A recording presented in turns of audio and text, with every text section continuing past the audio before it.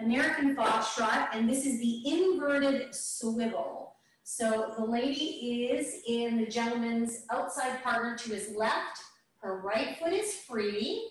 She's gonna step back on a slow, quick, quick, and stepping back slow, quick to brush, quick into promenade position. Okay, so I'll do that again. And I'll actually tilt this up a little taller so you can see the dance position too. Okay, so we are in outside partner going back. Lady stepping back to swivel.